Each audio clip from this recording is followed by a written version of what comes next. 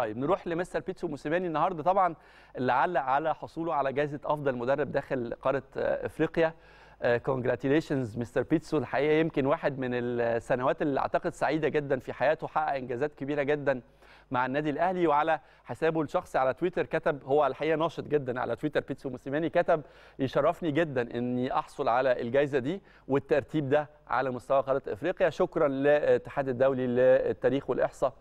على الجائزة. وأضاف كمان أحب أوجه شكر لفرقتي فريق النادي الأهلي للاعبين جميعا والمجلس الإدارة ولرئيس النادي كابتن محمود الخطيب ولكل الداعمين ليا في إفريقيا على دعمهم الدائم.